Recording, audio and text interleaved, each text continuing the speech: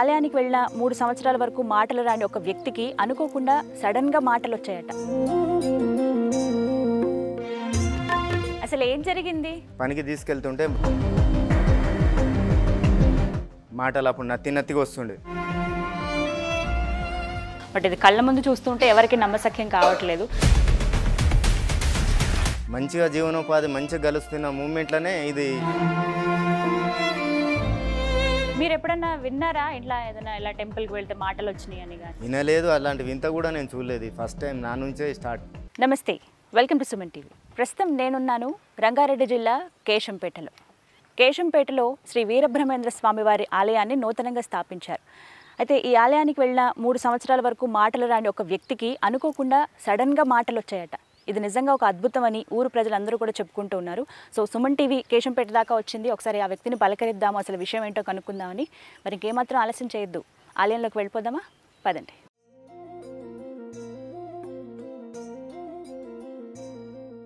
నమస్తే అండి. బ్రహ్మాచారి గారిని కలవడానికి వచ్చాము. పోయిననేనా? నమస్తే అండి.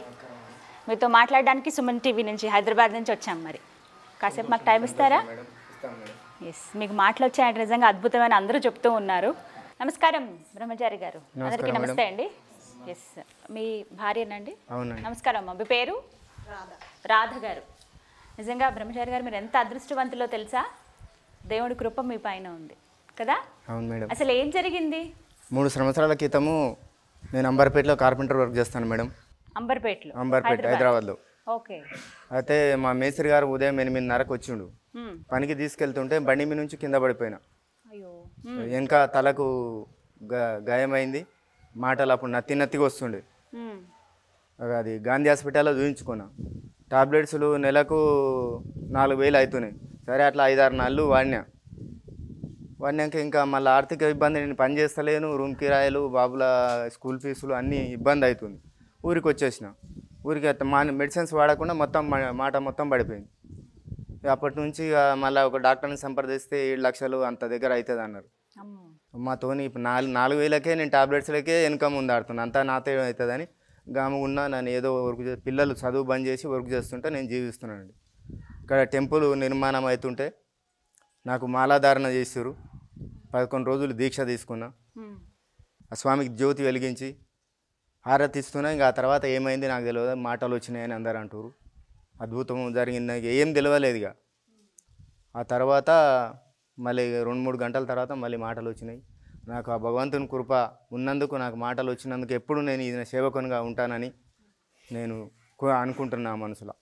మామూలుగా ఇవన్నీ వింతలుగా వింటాము సినిమాల్లోనూ లేకపోతే ఏదైనా కథల్లోనూ పూర్వ అంటే మన పూర్వకాలంలో ఉన్న పుస్తకాల్లోనూ దేవుడికి సంబంధించిన వాటిల్లో కథల్లో వినేవాళ్ళం. బట్ ఇది కళ్ళ ముందు చూస్తుంటే ఎవరికి నమ్మసఖ్యం కావట్లేదు. కానీ మీ రూపంలో అది నిజమే అని తెలుస్తుంది. కానీ మీరు కార్పెంటర్ వర్క్ అన్నారు కదా. సో మరి ఇక్కడ ఇది కదా మీ ఊరు కేశంపేట కదా? ఎందుకు. అక్కడికి వెళ్ళి పని చేసుకున్నారు? నేను అక్కడ గత ముప్పై సంవత్సరాల నుంచి అక్కడనే ఉన్నా మేడం. బతుకుదెరువు కోసం ఇక్కడ పనులు లేక నేను అక్కడే వెళ్ళిపోయి అక్కడనే స్థిరపడి భార్య పిల్లలతో అక్కడే అక్కడే ఉన్నాను. ఓకే. మంచిగా జీవనోపాధి మంచిగా గలుస్తున్న మూమెంట్లోనే ఇది ఇట్లా నాకు ఎంత కావడం. వచ్చేది మీకు కార్పెంటర్గా పని చేస్తే నాకు రోజు ఎనిమిది వందలు ఇస్తారు మేడం. రోజుకి డైలీ వేస్. ఎంతమంది పిల్లలు? ఇద్దరు అబ్బాయిలు. ఏం చదువుతున్నారు? ఫస్ట్ ఇయర్ సెకండ్ ఇయర్ అయిపోయింది. డిగ్రీ ఫైనల్ ఇయర్ చేయాలి. డబ్బులు లేక వాళ్ళు కూడా పని చేసి ఇంటరా? ఆ, బంద్ చేసి నాకు అన్నము మొత్తం వాళ్ళు పెడుతున్నారు మేడం. మా చిన్న అబ్బాయి కూడా బంద్ చేసిండు. ఏం పని చేస్తారు పిల్లలు? కార్పెంటర్ వర్క్ వాళ్ళు కూడానా? ఇలా నాన్న నువ్వేం పని చేయకు మరి నీ చేత కాదు అని మా చిన్న అబ్బాయి ఉండే ఇక్కడనే. ఇక నన్ను పని చేయకుండా ఉంచుకుంటారు వాళ్ళే పని చేసి చదువు బంద్ చేసుకోరు మేడం. ఆర్థిక ఇబ్బందులు. చేయించుకోలేదా మరి మీరు అప్పుడు. ఏం చెప్పారు? ఏడు లక్షలు అన్నారా? ఏడు లక్షలు అవుతుంది అన్నారు. నేను నాలుగు వేలు టాబ్లెట్స్కే లేవు ఏడు లక్షలు ఏడ పెడితే ఎట్లయితే అట్లయితే మాటనే కదా రాంది. అంటే కొంచెం కొంచెమైనా వచ్చేదా మాట? మొత్తమే రాలే మేడం. మా భార్యకు కూడా నేను అన్నం పెట్టు ఏదైనా కూరగాయలు అని చెప్తుంటే ఏ కూర చేయి అంటుంటే కూడా అర్థం కాకపోయేది. నా మీద కోపం అయ్యేది. నాకు చాలా బాధ అనిపించింది మేడం. నేను ఏం చెప్పినా సొంతం భార్యనే నమ్ముతలేదు. బయట పబ్లిక్ ఏం చేస్తారు నాకు? ఎట్లా అని నాకు చాలా బాధగా ఉన్నది. దేవాలయానికి వెళ్ళే అలవాటు ఉందా ముందు? వెళ్ళే వాళ్ళ? నేను దేవాలయంకు నిత్యం భగవంతుని పూజ ఎప్పటికీ చేసుకుంటాను నేను మేడం. ఇక్కడ ఈ ఆలయానికి వచ్చి ఇక్కడ అంటే మాలధారణ చేయడానికి రీజన్ ఏంటి? వీరబ్రహ్మేంద్ర స్వామి మేము చారిస్ మేడం. ఇక్కడ వీరబ్రహ్మేంద్ర స్వామికి మేమే కదా చేసుకునేది. అందు గురించి మా గ్రామస్తుల సంఘం ఉంది విశ్వబ్రాహ్మణ సంఘం. సంఘం తరపు నుంచి ఇంటింటికి ఇంత వేసుకొని గ్రామస్తులని అందరినీ చందాలు చేసుకొని ఈ టెంపుల్ని పదకొండు పన్నెండు సంవత్సరాల నుంచి పన్నెండు సంవత్సరాల క్రితం దీన్ని శంకుస్థాపన చేసినాం. అప్పటి నుంచి డబ్బులు లేక కొద్దిగా ఇబ్బంది వల్ల మేము చేయలేకపోయినాం మాకు ఎవరు సహకరించలేదు. ఇక్కడ యాదయ్య గారు అని మరి ధర్మకర్త గుడికి. అతను భాస్కరాచారి రాజు జంగయ్యచారి వీళ్ళు చాలా శ్రమపడి మరి చుట్టుముట్టు గ్రామాలల్లో ఇక్కడ చందాలు పోగు చేసుకొని అద్భుతంగా దీన్ని నిర్మించిండ్రు. నిర్మించినందుకు ఆ భగవంతుని కృప వల్ల నాకు మాటలు వచ్చినాయి. నేను ఎప్పుడు ఈయన సేవకునిగా ఉండాలని అనుకుంటున్నాను మేడం. గత మూడు సంవత్సరాల క్రితం అంటే ఎప్పుడైతే మీకు మాటలు ముందు వచ్చేవో అప్పుడు ఇట్లానే మాట్లాడేవాళ్ళ? మేడం. నార్మల్. వాయిస్ అన్ని అలాగే ఉండే వాయిస్ కొంచెం ఇప్పుడు చేంజ్ అయింది మేడం. ఫస్ట్ వేరే ఉండే. ఎట్లా అంటే గంభీరంగా ఉండేదా? ఇంకెలా? ఇప్పుడు మూడు రోజులు అవుతుంది. ఇప్పుడు కొద్దిగా స్పీడ్ ఎక్కువ నేను మాట్లాడుతూ కూడా కొద్దిగా గుంజినట్టు అయ్యి చేయలేకపో పాటలు నాకు పాటలు అంటే చాలా ఇష్టం. భక్తి పాటలు. పాటలు మొన్న నేను పాటలు కూడా చెప్పిన. ఆ పాటలు చెప్తుంటే సగం చెప్పిందాడే ఇట్లా ఆగిపోయినట్టు అవుతుంది మేడం. సో అంటే ఎక్కువ స్ట్రెస్ ఇవ్వదు. ఇప్పుడే వస్తుంది కాబట్టి. అది. తర్వాత మళ్ళీ వెళ్ళారా హాస్పిటల్కి? డాక్టర్ వెళ్ళలే మేడం. ఎక్కడ వెళ్ళలే. ఇంటి దగ్గరనే కూర్చుని. ఇబ్బంది వల్ల ఇంటి దగ్గరనే ఉన్నా. ఏదో పిల్లలు చేసుకొని వస్తుంటే ఇంత తినుకుంటూ ఇంటి దగ్గరనే ఉన్నా. మీరు ఎప్పుడన్నా విన్నారా? ఇట్లా ఏదైనా ఇలా టెంపుల్కి వెళ్తే మాటలు వచ్చినాయి అని కానీ లేకపోతే ఫలానా వాళ్ళకి ఇలా జరిగిందని కానీ ఎక్కడ వినలేని ఎప్పుడు వినలేదు. ఎప్పుడు వెళ్ళాను వినలేదు అలాంటి వింత కూడా నేను చూడలేదు. ఫస్ట్ టైం నా నుంచే స్టార్ట్. ఫస్ట్ మొట్టమొదటి మీరు మాట్లాడిన మాట ఏంటి? మూడేళ్ళ తర్వాత ఆలయంలో గుర్తుందా ఆ మాట? ఇదే కార్పెంటర్ వరకు రండి మిస్త్రి అంటే పోవడం కార్పెంటర్ ఇక కబోర్డులు చేయడము డోర్లు ఫీడ్ చేయడము. బ్రహ్మచారి గారు అంటే కామన్గా చెప్తూ ఉంటారు కదా ఏదన్నా మనకి ఏదైనా అనారోగ్యం ఏమైనా చేసినా కాలం గడిచే కొద్దీ అది నయం అవుతుంది దాని అంతటా అదే మారిపోతుందని కొంతమంది అంటారు. కానీ కొంతమంది ఏమో లేదు బ్రహ్మేంద్ర స్వామి వారు ఆయన కృప వల్లే వచ్చిందని కొంతమంది అంటారు. మీరు ఏది నమ్ముతారు ఈ రెండిట్లో? ఆ స్వామివారి వీరబ్రహ్మేంద్ర స్వామి గోవిందమాత దయ వల్లనే నాకు మాటలు వచ్చినాయని నమ్ముతున్నా మేడం. అలాంటి అద్భుతం మరి జరుగుతుంది అని నేను అనుకోలేదు. మరి అట్లా ఉత్తగా జరగాలంటే మూడు సంవత్సరాల నుంచి ఎప్పుడు కూడా రాలేదు. ఆవేశానికి కూడా మస్తు నా నేను ఏం మాట్లాడలేక నా ఎదుటి వాళ్ళ ముందు కూడా నేను కోపమైన రాలే. మాటలు రాలే. ఈ స్వామి కృప వల్లనే నాకు వచ్చినాయని నాకు నమ్మకం. ఈ మూడేళ్ళలో ఎప్పుడు రాలేదా ఆలయానికి? వచ్చిన ఈ ఆలయం అప్పుడు లేకుండా కదా మేడం. మొన్న మొన్నే పద్నాలుగు పదిహేను పదహారు ప్రతిష్టాపన జరిగింది. అంతకుముందుకు పక్కా దేవాలయం ఉండే. శనివారం ఆంజనేయ స్వామికి అక్కడ ఇక్కడ వెళ్తూనేవాడిని. అయినా ఏం రాలేదు. మీరు అప్పుడు చాలా మొక్కులు మొక్కుంటారే. ఏమనుకున్నారు మరి? మాటలు రావాలి నాకు మాటలు మంచిగా వస్తే నేను దేవాలయంకి ఇప్పుడు ఆంజనేయ స్వామి కానీ ఇక్కడ వెంకటేశ్వర స్వామి గారు ఉన్నారు. ఇక్కడ కానీ మొక్కున అక్కడ మా అమ్మగారు మైసమ్మ ఉంది. అక్కడ అంతటా మొక్కిన నేను. నాకు మాటలు వస్తాయి కొబ్బరికాయలు కొడతాను ఇది చేస్తా అది చేస్తా అని. ఎలాంటి ఫలితం లేకపోయింది. మరి మాలా దీక్ష తీసుకున్న తర్వాత నాకు ఈ అద్భుతం. ఎన్ని రోజులండి? దీక్ష ఎన్ని రోజులు పన్నెండు రోజులు తీసుకున్నాను. స్వామి వీరబ్రహ్మేంద్ర స్వామి దీక్ష పన్నెండు రోజులు చేసుకున్నాను. పన్నెండు రోజులు. ఇప్పుడు ఎన్ని? నాలుగు ఐదు రోజా? పదిహేను రోజులు. ప్రతిష్టాపక ముందు మేడం. తీసుకున్నారు. ఇప్పుడు మాలలో ఉన్నారా మీరు? ఏం లేదు మేడం మాల తీసిన. అక్కడ కందిమల్లాయపల్లి బ్రహ్మంగారు దగ్గరికి వెళ్ళి మఠానికి వెళ్ళి రాత్రి వచ్చినాం మేడం. వచ్చి ఇక ఇదే పొద్దుగాల ఇక్కడ నుంచి ఇక్కడనే నేను. కానీ నిజంగా అదృష్టమే. ఎంత అనిపించింది మాకు కూడా. అందుకే ఒకసారి వెళ్ళి చూద్దాం. నిన్నే విన్నాం మేము. ఇలా పేపర్లో కూడా వచ్చింది. హైలైట్ అయింది న్యూస్. ఇలా ఒక వింత జరిగింది. ఇది ఎప్పుడు మనం ఆ కాలం ఆ రోజుల్లో లేకపోతే సినిమాల్లో వీటిలోనే చూసేవాళ్ళం. ఇది నిజం అని అంటే మాకు ఒకసారి వచ్చి చూడాలనిపించింది. మీతో మాట్లాడాలనిపించింది. అందుకే ఇంత దూరం వచ్చాము. ఏమన్నా చెప్తారా? ఏమైనా చెప్పాలనుకుంటున్నారా? నేనేం చెప్పదలుచుకున్నాను మేడం. ఇప్పుడు నా పిల్లల చదువులు ఖరాబ్ అయినాయి. నాకు ఇట్లా మాటలు పోయినందుకు నా పిల్లలు కూడా చదువుకోలేకపోతున్నారు. స్ట్రెస్ ఎక్కువ ఒత్తిడి పెట్టకండి గొంతు మీద. ఉమ్, బాధపడకండి. పిల్లలను చదివించుకోలేకపోతున్నా. ఆర్థిక పరిస్థితుల వల్ల. ఈ మూగపోయినందుకు ఎంత ఎంత ప్రాబ్లం అయింది మేడం నాకు. ఆ స్వామి దయ వల్ల వచ్చినందుకు మళ్ళీ నా పిల్లలని పని బంద్ చేసి చదివిపియాలనుకుంటున్నాను మేడం. మళ్ళీ వర్క్ స్టార్ట్ ఈ ఊళ్ళోనే చేసుకొని. కొన్ని రోజులు ఇప్పుడే వచ్చింది కాబట్టి చాలా పచ్చిగా ఉంటుంది. కాబట్టి ఎక్కువ ప్రెషర్ స్ట్రెస్ దాని మీద పెట్టకుండా ఒత్తిడి లేకుండా చిన్నగా మాట్లాడండి. తక్కువగానే ఉండండి. ఇంత అనుగ్రహం ఇచ్చిన దేవుడు మీ పిల్లల భవిష్యత్తు చూడడా? అది కూడా ఖచ్చితంగా చూస్తాడు. చూడాలని కోరుకుంటున్నాం మేడం. మనతో పాటు బ్రహ్మచారి గారి భార్య రాధ గారు ఉన్నారు. వారితో ఒకసారి మాట్లాడదాం. నమస్తే అమ్మా. గట్టిగా మాట్లాడు. గట్టిగా మాట్లాడమని చెప్తున్నారు మీ వారు. ఇలా మాట్లాడి మూడు సంవత్సరాలు అయిందా? కదా? అప్పుడు మీకు అలా మాట రావట్లేదు మాట పడిపోయింది అన్నప్పుడు ఏమనిపించిందమ్మా అప్పుడు మూడేళ్ళ క్రితం? బాధ అనిపించింది మేడం. మీరు కూడా ఏమన్నా పని చేసేవాళ్ళ? ఏం చేయలేదు. ఇంట్లోనే ఉంటారా ఇంట్లోనే ఉన్నా మేడం. ఏమన్నారు మరి హాస్పిటల్కి? అప్పుడు తీసుకెళ్ళారా? ఆ, తీసుకెళ్ళినాం మేడం తీసుకెళ్ళినాం.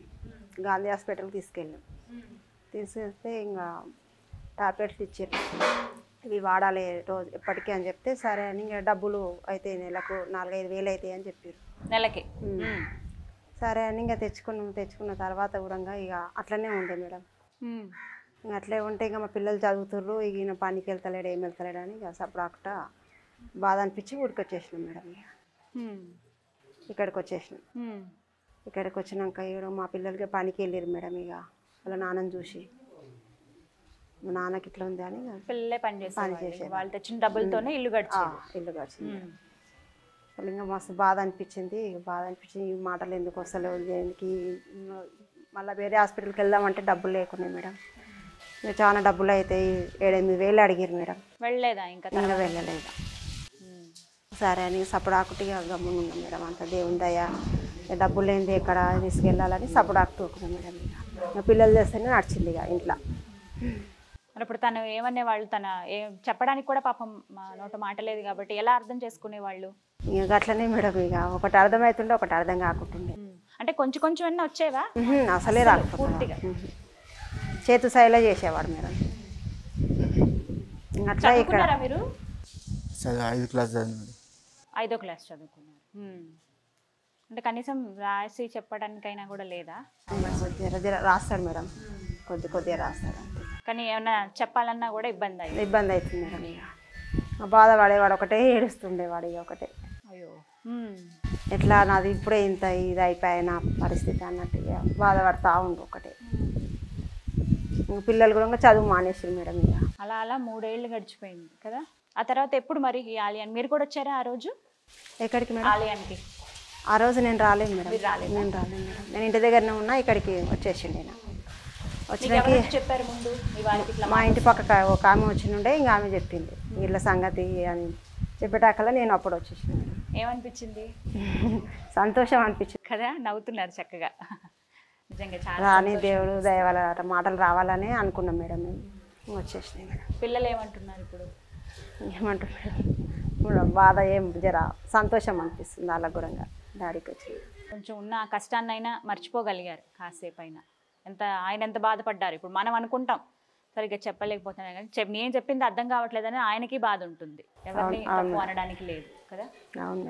మరి విన్న తర్వాత మీకు ఏమనిపించింది ఇలా మాట వచ్చింది మా వారికి అని తెలిసిన తర్వాత ఏమనిపించింది అప్పుడు? ఏమనిపించింది మేడం? ఇక ఇట్లనే ఎప్పటికి ఇట్లనే మంచిగా ఉండాలి మాట్లాడుకుంటూ అని అనిపించింది మేడం. ఇప్పుడు ఏం చేద్దామని ఇంకా తర్వాత? ఇప్పుడు పిల్లలు పాపం చదువు మధ్యలో ఆపేశారు. మరి ఏం చేద్దాం అనుకుంటున్నారు? ఆయనేమో నేను ఇంకా పని చేయగలను చేస్తానని కూడా అంటున్నారు. సో ఏం చేద్దాం అనుకుంటున్నారు ఇప్పుడు? అంటే మళ్ళీ హైదరాబాద్ వెళ్ళి మళ్ళీ అక్కడే పని లేకపోతే లేదు హైదరాబాద్ ఏమి లేదు ఇక్కడే ఉండాలని. ఇక్కడే ఉంటారు. ఇల్లు ఉందా ఇక్కడ మీకు? చిన్నగా కొంచెం ఉంది మేడం చాలా పెద్దగా లేదు. అంటే ఉండడానికైతే కొంత స్థలం ఉంది. ఓన్లేండి సంతోషం. బాధపడ్డారు ఇన్ని రోజులు కానీ దానికి తగ్గ ప్రతిఫలం అయితే వచ్చింది కదా? దేవుడు నిజంగా కరుణించాడు వేణ బ్రహ్మేంద్ర స్వామివారి మహత్యం అది నిజంగా. అవును మేడం. ఆ విషయంలో నాకు సంతోషంగానే ఉంది. బాధ అనేది ఖచ్చితంగా అందరికీ వస్తాయి బాధలు కష్టాలు. బట్ ఏదో ఒక టైంలో వాటి నుంచి విముక్తి ఉంటుంది. దేవుడు ఇస్తాడు అది కూడా. ఈ రూపంలో ఇచ్చాడు. చాలా సంతోషం మీతో మాట్లాడినందుకు. అంత దూరం నుంచి రావడానికి కూడా కారణం అసలు నిజం ఉందా లేదా అనే దానికన్నా కూడా ఆ మహత్యం ఏంటో తెలుసుకుందామని ఇక్కడ దాకా వచ్చాం మేము. కానీ కళ్ళారా చూసాం అది. ఇంకా సంతోషం. మీకు అంత దూరం నుంచి సుమన్ టీవీ వారు వచ్చినందుకు కూడా వారికి పాదాభివందనాలు చేస్తున్నాను. సంతోషం చాలా. దేవుడు ఆలయంలో ఉన్నాం మనం. ఆయన కన్నా గొప్ప పెద్ద ఇంక ఎవ్వరూ లేరు. సో మహత్యం అంతా కూడా వీర బ్రహ్మేంద్ర స్వామి వారికే? నేను చాలా చూశాను. మా అమ్మ చిన్నప్పుడు సినిమా చూపించేది. రామారావు గారు నటించిన ఆ సినిమా ఇప్పటికి కొన్ని వందల సార్లు చూసుంటాను నేను. అందులో ఆయన చేసిన వింతలు చూపించిన వింతలు విశేషాలు కాలజ్ఞానం ఇవన్నీ విని నాకు ఓహో ఇలా జరిగేదా అని నేను అనుకునేదాన్ని అంతే. బట్ ఇప్పుడు నేను కల్లారా చూశాను మీ రూపంలో. అందు గురించే మాటలు వచ్చిన తెల్లారే అతను మఠానికి వెళ్ళి వీరబ్రహ్మేంద్ర స్వామి మఠానికి వెళ్ళి దర్శించుకొని స్వామిని దర్శించుకొని నైట్ రాత్రి ఒకటి గంటలకు వచ్చిన మేడం. రైట్ సంతోషం అండి. నమస్తే. నమస్కారం మేడం.